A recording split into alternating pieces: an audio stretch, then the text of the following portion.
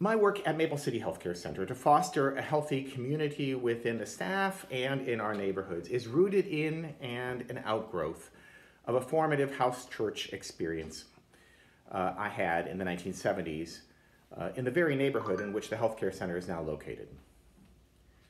My ideas about what a healthy community would look like, one that bridges socioeconomic and cultural divides, was shaped by my experiences of church and my ideas about the church. I went off to medical school not primarily to become a doctor, but to explore how healthcare, a much needed service in that community, might function as an entry point to engage in these bigger questions of creating a space for healthy community to happen. Now, from the beginning, the Healthcare Center was grounded in a vision for how to foster relationships and community in the neighborhood and we could apply that vision to the many day-to-day decisions about what to do in ways that were intuitive and that worked in a small organization where we all knew each other and organizational culture was driven and sustained by charismatic leadership. But over the past 10 years, we've grown from one site and a staff of about 20 people to two plus sites with a staff of 130. And with those rapid changes and growth, we've realized that we had to be more deliberate and intentional about fostering and supporting organizational culture. So let me tell you a little bit about what we look like now. We have two main sites, one an old fire station, the other a mansion. We have a house next door to the one where groups gather and a dental house next door to the other. Our patients are 60 plus percent Latinx, many of them undocumented. Over 80% of our patients have incomes below 200% of federal poverty level and qualify for discounts. And 45% of our patients are 18 years of age or younger. Our staff includes three family physicians, nine nurse practitioners, two midwives, a dentist, four behavioral health counselors, a psychiatrist, an addictions counselor, diabetes educators, pregnancy care coordinators, nurses, nutritionists, social service coordinators, dental hygienists, dental assistants, navigators who do financial assistance, and lots of other support staff in billing and medical assistance from off, uh, front office work and administration. We also have a program using lasers to help ex-prisoners with tattoo removal. All of our services are available on a sliding fee scale. We've never used collection agencies, and now we no longer track debt. If charges are not paid, they disappear. We do encourage all patients to think about what they can contribute to our community, and we're happy to recognize those contributions as payments for healthcare. And in the pre-COVID days, we spend a lot of time together eating. So, back to the kind of culture we're trying to foster. I think there are some parallels between our more deliberate efforts to foster a sustainable organizational culture that is profoundly countercultural in the broader medical environment and Christian catechesis. We are, after all, inviting people to be a part of a different kind of community with, with different values and different ways of being engaged with their coworkers and their neighbors. And we want them to thrive in this different dynamic environment. Uh, and so we want to help them think clearly about what we're trying to do together. We are wanting to nurture right thinking, something you might, in your religious context, think of as orthodoxy. We want to help people develop habits and practices that sustain our alternative engagement in the world and our community, parallel perhaps to orthopraxy. And we want to encourage people in aligning their passions and their stories of who they are and what they are about with an alternative story, sort of like orthopathy. So as I share a bit about the ways we work to develop and sustain culture, I invite you to reflect on how these efforts fit with right thinking, right practice, and right passion in your context. Now, the mission of Maple City Healthcare Center is to foster healthy community in our neighborhoods by providing and promoting affordable, accessible, integrated quality care, and to articulate and promote our experience as a sustainable model. And our core values are long-term relationships, with patients and in the staff and in the community. Integration of care, of teams and staff, and personal integration that the job fits with who you are and what you want to be.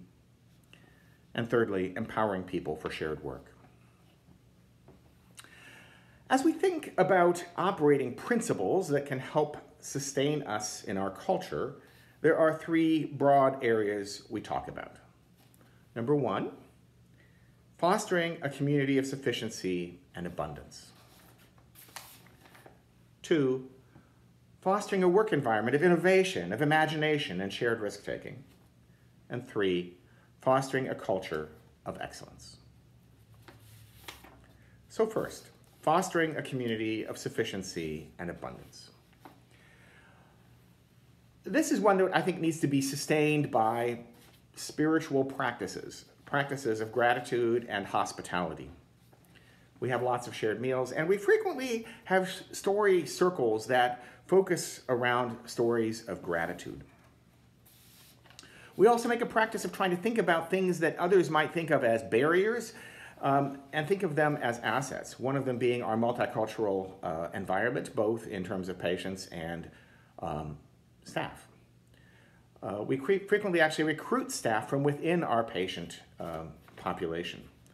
Um, it's not uncommon for us when we need a new medical assistant, instead of advertising in and, and looking at selecting from among applicants, to instead think together about who is a patient who uh, already exemplifies the kind of values that we care about uh, in their engagement with their family and their community. And then we will go to them and say, you know, we know that you may be employed in a, in a trailer factory or whatever, but we really would like you to join this important work that we're engaged in here and join our team. Would you please uh, consider our invitation? And rarely are we turned down. We organize our finances, our salaries, and our benefits around sufficiency. Um, we want to make sure that everybody has a living wage. So, you know, it's not easy to raise a family on what a receptionist or a medical assistant makes in Goshen, Indiana. So all of them get paid more than what they would otherwise get paid in the marketplace. And it's very easy to raise a family on half of what a physician makes in Goshen, Indiana. So our physicians get paid about half of what other physicians in the community are paid. So we have this very squished uh, salary scale. And then we still have uh, you know, a single mom with five kids who, even though she's getting paid above market rate, is still living in poverty. And so that family will get a third check every month to bring them uh, to a living wage. We have benefits that we don't think of as some kind of deferred compensation where everybody gets exactly the same, but rather where we're trying to look at what are the basic things that we want everyone among us to have access to, whether it's health care or dental care, retirement, help with childcare, help with sending kids to college, uh, paid parental leave on the arrival of a new child, uh, emergency assistance. So one of our, our employees, I'll call her Maria, was born in Mexico and brought to this country as a young child by her parents uh, and grew up in Goshen. She married uh, an American citizen uh, and had two children who were American citizens, but she was undocumented. Um, and she was working for us and uh, at a certain point decided she really was tired of living in the shadows and wanted to go back to Mexico to apply for uh, documentation so she could come uh, and live in this country with her family with documents. She was told it would probably take about six months to get this taken care of, and so she went off to Mexico and she ended up being stuck at the border for two whole years waiting for her papers to go through. During this entire time, we held her job for her. We had a big sign in the front office that's, with her picture that said, Maria is coming back. Um, and uh, during her time there at the border, we had staff who went down to visit her. We kept her family on our health insurance program um, and uh, continued to be in touch with her. When she finally got her papers and was traveling back to Goshen, driving the last leg from Texas, she arrived in Goshen at 8 in the morning and she ended up at our doorstep waiting for her family at Maple City Healthcare Center to come in for the day to greet us and uh, rejoin us. Uh, did that even before she went to visit her mother and father. She's one of these people where we have worked at trying to find ways to make sure that everybody has enough. that those who have much do not have too much, and those who have little do not have too little. Our second big category of organizing principles is to foster a work environment of innovation, of imagination, and shared risk taking. And this one depends so much on having to start with a culture of sufficiency. Because if there's not sufficiency, invariably people are afraid that there's not enough for them. And the first casualty of, of fear is always imagination. So if we want imagination and innovation, we have to make sure that people have enough. One of the big tools we use to foster uh, a culture, if you will, of of imagination is our circle model of, of, of working together. We, we try to have all kinds of engagements, whether it's one-on-one or um, administrative team or staff uh, meetings or huddles or hubs or various uh, parts of the organization or the board meet uh, in circle where we try to listen carefully and make sure that we are creating a context where um, imagination can shine through. We have five agreements that we hold to when we are in this circle arrangement. The first is that we will honor the trust we place in each other as we share our stories. A second is that we um, will speak for ourselves with focus, with intention on our shared work. A third is that we listen with curiosity and compassion and suspend uh, judgment. A fourth um, is that we offer what we can and we ask for what we need. And lastly, and importantly, uh, from time to time we take pauses. Sometimes we take a pause to mark transitions or to mark the intensity of emotion in a particular moment. Sometimes we take pauses to refocus our, our thoughts and our conversations. Sometimes we take a pause because we just don't know how to proceed. So these circle agreements and these ways of working together uh, help foster a culture of imagination and shared uh, uh, innovation. Um, I'd like to tell you a little bit about our board, but first I want to tell you about our pregnancy circles. One of the first things that happened at the Healthcare Center was that we had um, prenatal education. Uh, two women who were doing um, um, prepared childbirth classes in our community. One of them was Lois Kaufman, whom you may know. Um, approached us very early on and said, you know, the people who need this the most, are low-income folks and so on, uh, don't tend to be part of our groups. And we're wondering if we can collaborate and we could do our groups at your space, and in exchange, your uh, patients could be part of these groups uh, at no cost. And so we worked this out and we started having people there. And what we found was that pretty early on, uh, our Latina patients did not end up going to any educational groups or classes. They just wouldn't show up. They always show up for their medical appointments, but they wouldn't show up for the other stuff. We tried all kinds of things. We tried bilingual classes. We tried Spanish-only classes. We tried to arrange a schedule so that their, their medical appointments would align with uh, these class schedules. Nothing seemed to work. And so eventually we decided we really needed a different kind of model for prenatal care. And we looked to a group that was starting a model that's since become a national um, model uh, called Centering Pregnancy, and they were doing this at Yale in the midwifery school there. And um, what we do there is we have six to eight women who are due at about the same time. They form a cohort, a group, and they meet for a couple hours about eight to 10 times during their pregnancy. And the first hour, half hour is your typical medical kind of stuff. We check their blood pressure and their weight, and we listen to the baby's heartbeat and make sure the baby's growing, all those kind of medical things. And then the last hour and a half they spend together in a circle talking about the things that are important to them during this pregnancy.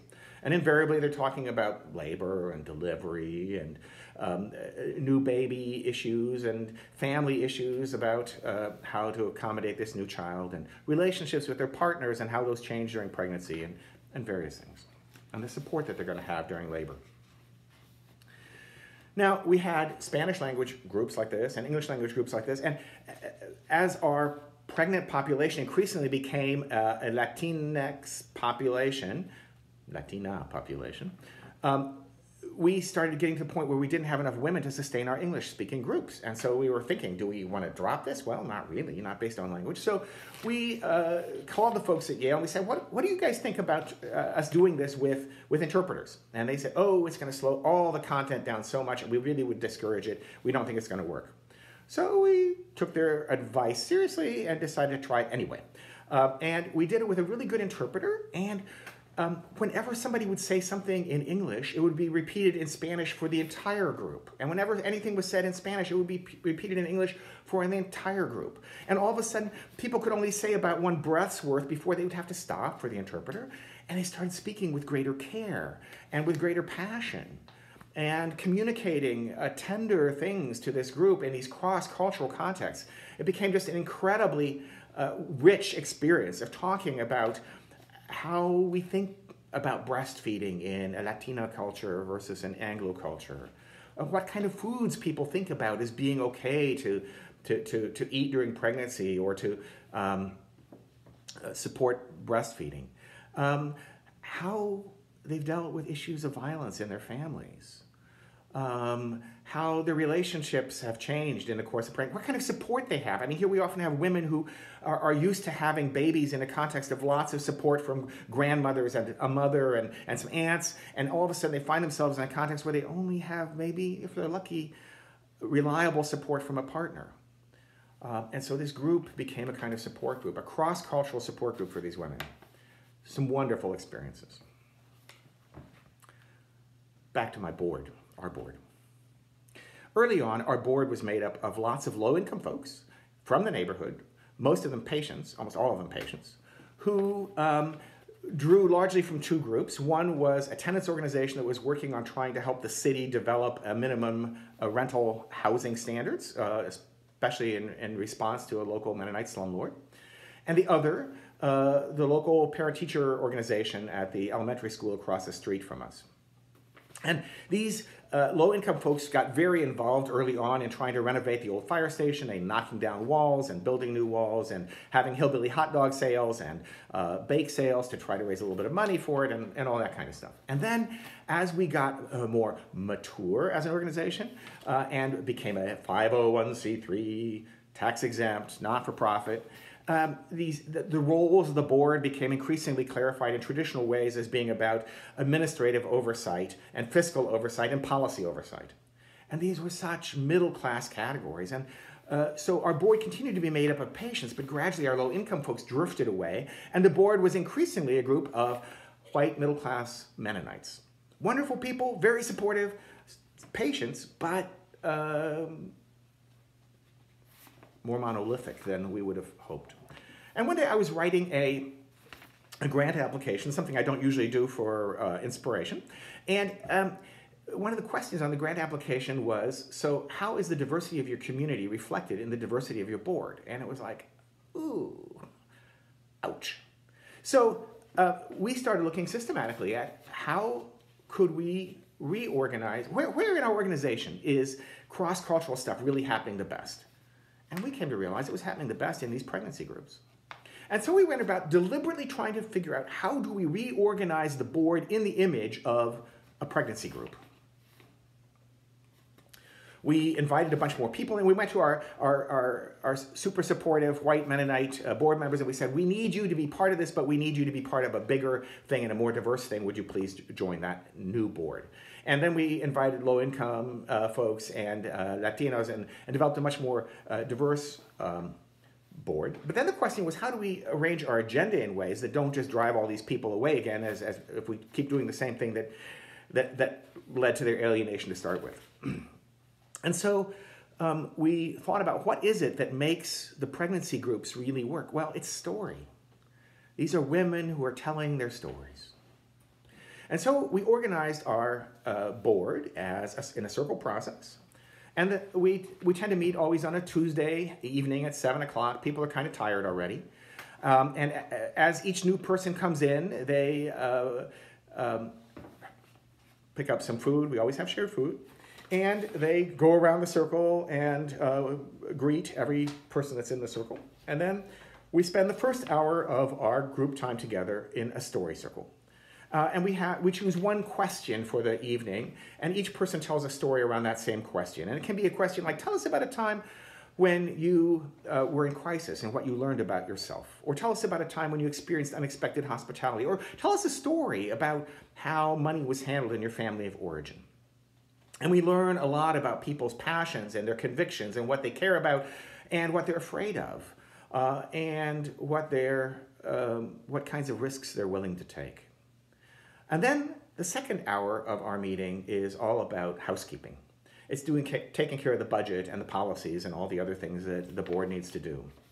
And it happens very quickly and very efficiently because we have deep relationships of trust and understanding that have all developed in this cross-cultural context with interpreters, English, Spanish, bilingual, figuring out who we are together as a community and what our shared story there is.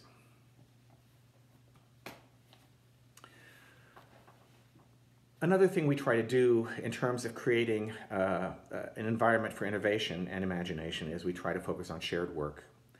Uh, we organize our clinical care teams with multi uh, um, disciplinary uh, folks, all represented, sitting in the same area, uh, constantly uh, interrupting each other and working with each other around patient care. So the patient care becomes a team effort and it's not just an individual practitioner doing stuff. So the particular team I sit in on a, on a daily basis includes me as a physician, it includes nurse practitioner, it includes a midwife, it includes um, a couple nurses, it includes uh, medical assistants, it includes a behavioral health counselor, it includes a nutritionist, it includes an addictions counselor, and it includes a psychiatrist. And we all are working together as a team to um, figure out how to address our patients' needs. So avoiding silos and working in, in shared work.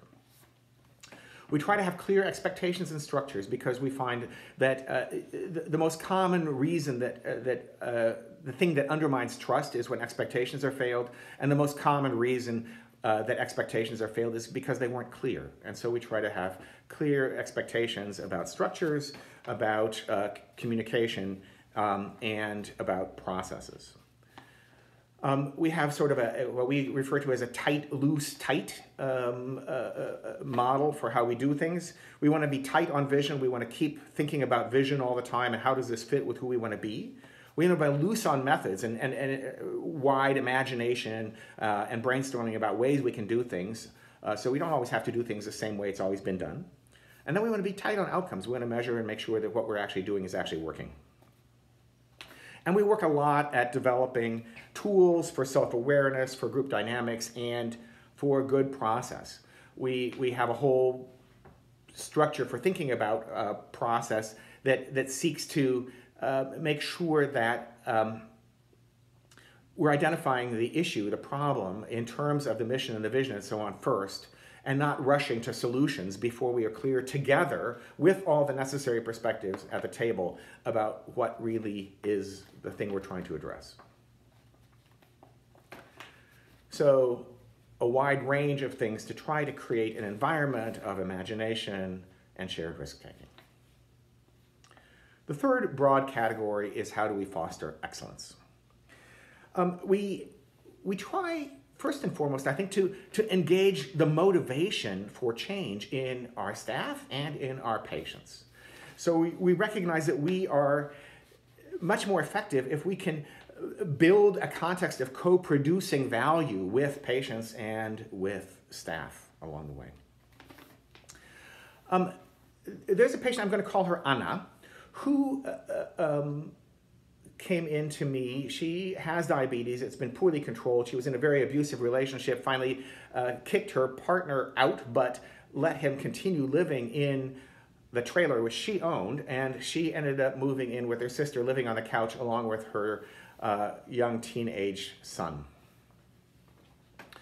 Um, her diabetes was poorly controlled, and as I talked with her some, I, I realized that one of the things that she was doing is whenever she was anxious or feeling bad, uh, which she was doing a lot of, uh, she would comfort herself by eating uh, Mexican sweet breads, pan dulce, um, and her sugar was terrible.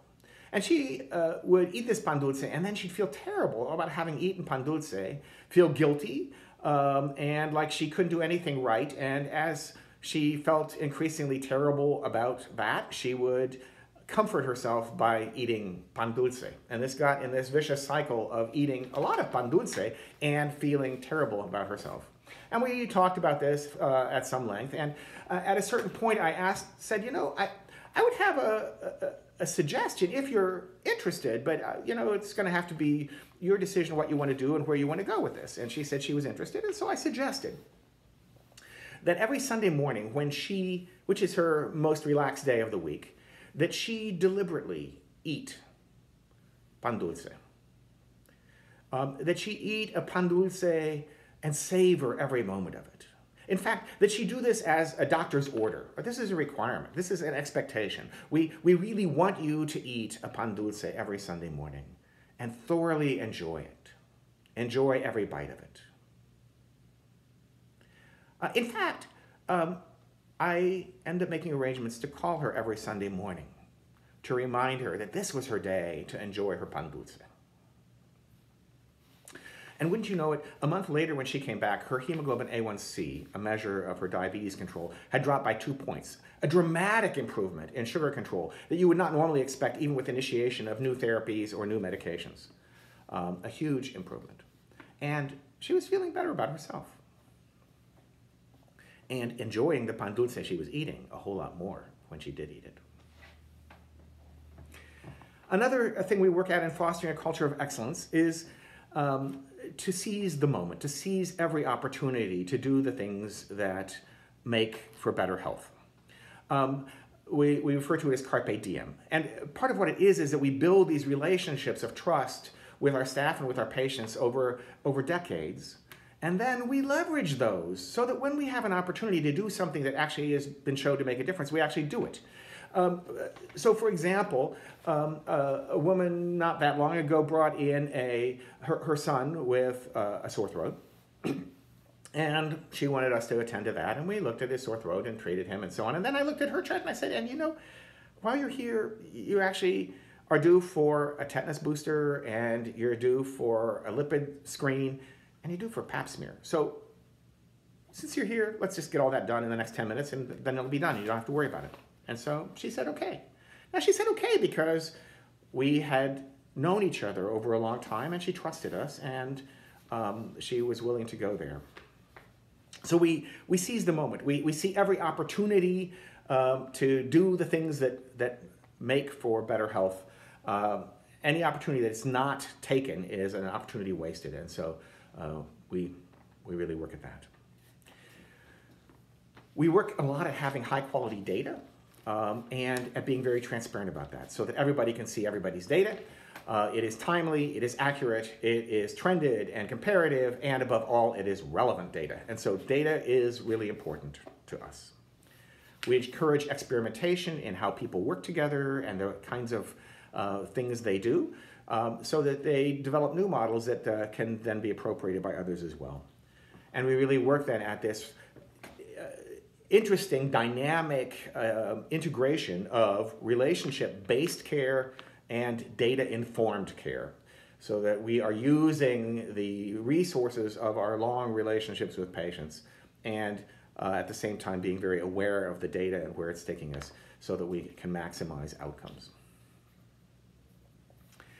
Now, of late, we are really working here at developing a curriculum, if you will, a curriculum of shared principles, shared practices, and shared passions. A whole curriculum we call core concepts. And we're trying to include all parts of the organization. Uh, we're using it initially with new staff as they come on board as a, as, as a way of, of orientation, but also bringing in then old staff and board and patients and administration to really explore all these different building blocks of shared culture in which we can, uh, as we do these things together, we can all learn to, to, to live into a changing environment in which we can all thrive. I look forward to further conversations about this uh, later today. Thanks.